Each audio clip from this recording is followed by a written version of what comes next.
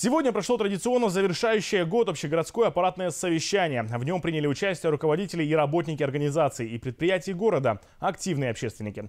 Перед новогодним праздником принято подводить итоги уходящего года, поэтому сегодня было много приятных моментов, связанных с награждением особо отличившихся. Репортаж Дарьи Бугаевой. Сегодня на аппаратном совещании подвели итоги уходящего 2020 года вместе с главными героями его событий – жителями семи лиственниц. Всех их объединяет одно – инициатива, которую они проявили в непростой период. За большой вклад в борьбу с коронавирусной инфекцией, самоотверженность и профессионализм первыми были награждены медицинские работники. Из всех мудростей народных я вынесла одну очень большую. Не было бы счастья, но несчастье действительно помогло. Мы сплотились, мы обновились. Мы обновились как э, морально, своим знанием, так и наш ресурс врачебный обновился, так и наше оборудование обновилось. Спасибо вам большое за вашу поддержку. Не болейте.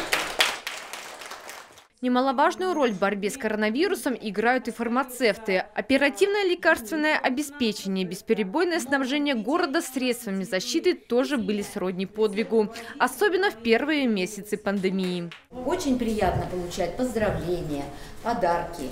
Очень приятно. И самое главное, конечно, оценка труда коллектива. За своевременно и оперативно отработанные задачи, поставленные главой округа, были награждены коллектив Управления по труду и социальной защите населения в лице руководителя управления Ольги Слепцовой. Напомню, что в этом году почти 2000 семей, имеющих детей, получили выплаты, а это без малого 115 миллионов рублей.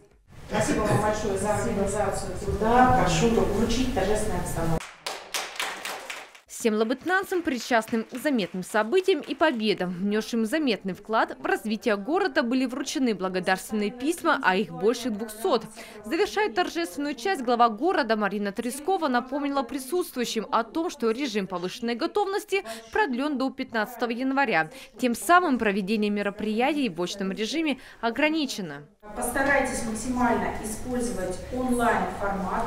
Это касается в том числе мероприятий, которые будут проводиться вне школьных каникул.